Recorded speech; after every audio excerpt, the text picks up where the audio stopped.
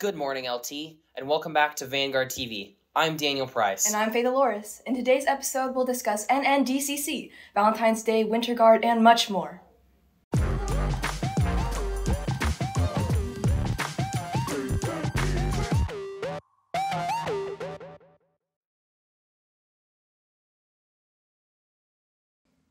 Valentine's Day is tomorrow, which means it's a time when many students go on dates with friends or significant others.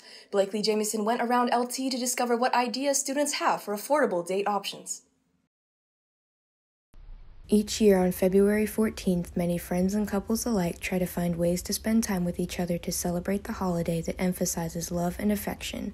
Though going to fancy dinners and purchasing gifts can be expensive, there are numerous affordable date ideas for couples on a budget. My husband and I will just go grab food and make like a little picnic. Driving around if you have a car, that's fun. Activities such as going on a walk in the park and having a picnic lunch or a coffee date are some ways to spend quality time with loved ones this Valentine's Day. There are many other alternatives to show love without having to empty your pockets.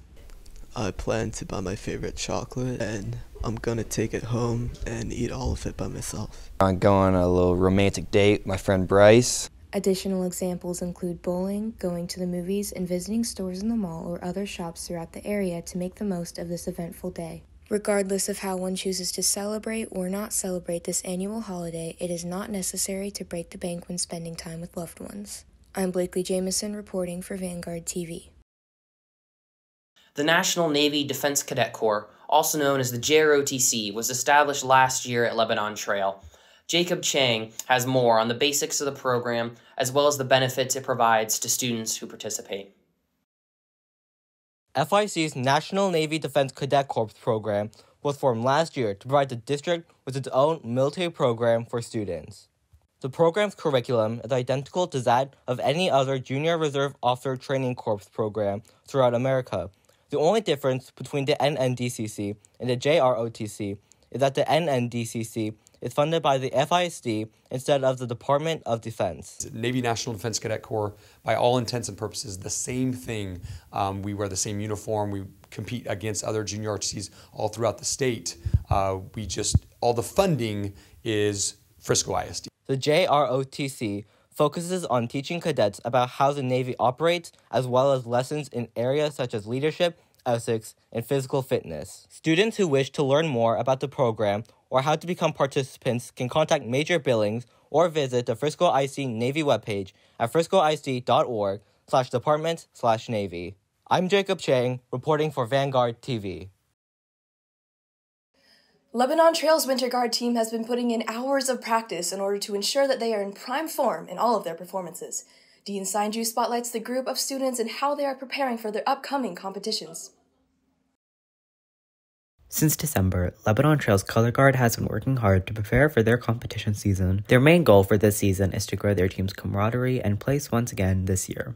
So this year our performance is about autumn and leaves. It's called a soft place to land. So you see like we have bean bags all around the floor. They're actually supposed to represent piles of leaves that the performers get to fall into. So it's just kind of that feeling of fall, autumn excitement and just free falling into piles of leaves. There's this one part when sabers, we fall into the beanbag after a toss. This is my first year on saber. I've never been on it before, so being part of the experience helps me grow as a member and just to help other people. My favorite part about our performance is the saber part. It's kind of challenging given I've never been like a key saber and stuff like that. So as being my last year, I'm excited to see the choreography that our coaches have written for us. While they faced multiple challenges while practicing for their competition, They've learned to adapt and grow from any situation that arises. One of those obstacles includes the amount of time required of students throughout the week for practice. Usually, our practices are two days a week from 6 to 9, and sometimes also Saturday from 12 to 8.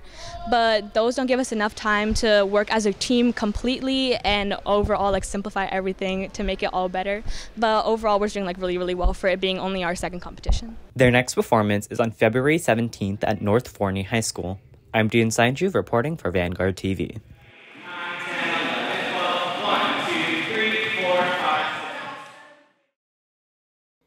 After a frozen pause of winter sports, LT athletes are back in the swing of things as some teams move closer to playoffs while others compete in early matches and scrimmages of their seasons.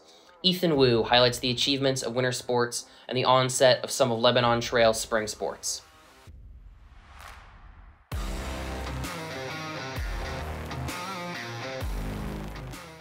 Welcome to the latest edition of Blazer Sports Updates. As the seasons roll on after a brief pause due to freezing conditions, our athletes have returned and performed at an unparalleled level, earning achievement after achievement. The girls basketball team continues to perform exceptionally well in the current season, taking on some tough opponents. They most recently won against the Centennial Titans with a final score of 54 to 36 on their senior night game last Tuesday. The Blazers are currently ranked at number 3 in district play, boasting a record of 20 wins and 11 losses as they head to their first playoff game in LT history tonight at 7 p.m. against the Lone Star Rangers at Panther Creek High School. The boys basketball team has had a tough season so far, with an 11 loss streak recently. However, the team is not discouraged and remains determined to turn the season around. In their last game against the Centennial Titans, the Blazers put up a tough fight but came up short with a final score of 60 to 44. The team is now focusing on the next challenge, their senior night home game against the Emerson Mavericks, Tuesday at 8 p.m.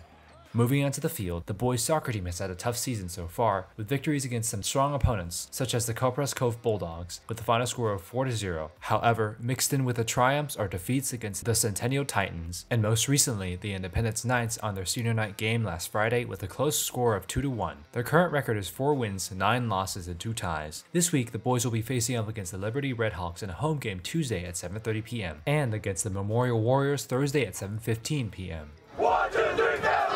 The girls soccer team has had a balanced season so far, with victories against strong opponents such as Emerson, Heritage, and Centennial. Their recent five-win streak was unfortunately halted by a defeat against the Independence Knights on their senior night game last Friday, with a final score of 3-1. Their current record is 5 wins, 6 losses, and 1 tie. This week, they will face off against the Liberty Redhawks in an away game Tuesday at 5.30 p.m. Softball, baseball, and track season have all officially begun as the Blazers played their first games in their past few weeks. Softball played their most recent game against the Creekview Mustangs last Saturday. While no official scores are available to the public, the team is actively training and preparing for the season. This week, the Blazers will face off against the Sherman Bearcats in a home game on Tuesday at 7 p.m. and will also participate in the Celina softball tournament starting Thursday against a to be determined opponent. Baseball played their first game on February 4th and their most recent game against the Newman Smith Trojans last Saturday. No official scores have been released to the public, but the team trains on for the next games this week in away games against the Lake Dallas Falcons today at 1 p.m. and the Panther Creek Panthers Friday at 5 p.m. The LT track and field team had their first meet at Prosper High School, competing against Heritage and Prosper in various activities such as long jump, high jump, various sprints, and mile runs. And last but not least, moving on to district and regional achievements, our swim team has been busy making a splash this season. The athletes have completed district and regional competitions, and the girls qualified for the Texas State Swim Championship that will take place at the Lee and Joe Jamail Texas Swimming Center in Austin, Texas, from February 17th to February 18th. Congratulations to Coach Graves and the swim team.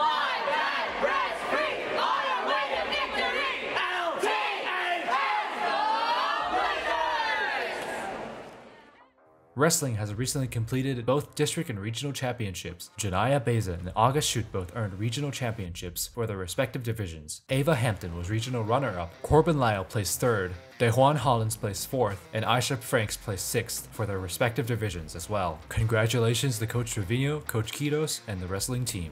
I'm Ethan Wu reporting for Vanguard TV. Lebanon Trail is a diverse and independent campus with students and staff members who use creative ways to portray the school's unique qualities. One recent example is the addition of the new art wall that has been placed in hallways throughout the campus. Megana Kuchipudi has more on how this form of artistic expression makes a significant impact at LT. Over the past few weeks, LT has made many changes around the school. One of the distinct changes being the new wall art across the school. There are painted quotations, pictures, and symbols of Lebanon Trail on the blank walls. I think the purpose is to also add some glam and color to like a boring white wall to be According to Dr. Deuce, the purpose of the wall art is to incorporate accomplishments made by previous alumni. I feel like the purpose of the wall art is to like bring students together and like remind them that we're all like part of a community at LT. Inspired current students to try more activities and pursue what they're interested in. Give people motivation or like commemorate the past students, but personally I just find it just really pretty. The art symbolizes unique style and gives emphasis that LT is a diverse and independent school. I think it looks cool, specifically the newest one that we just got. That one's not bad. This betters our school by incorporating creativity with school spirit and by using the school's colors. The art is displayed through the school in various places. I love the wall art. It's an awesome addition to the hallways and it brings a burst of color. The green and gold that are used in the wall art are to represent LT's color overall, to give the students an inspiration to become as a community. Whether it's in the fine arts hallway or the academic hallway, you can see the different wall art displayed throughout the school. I'm Megana Kuchipudi reporting for Vanguard TV. Thank you for watching Vanguard TV. I'm Daniel Price. And I'm Faith Dolores. Blaze, it, LT.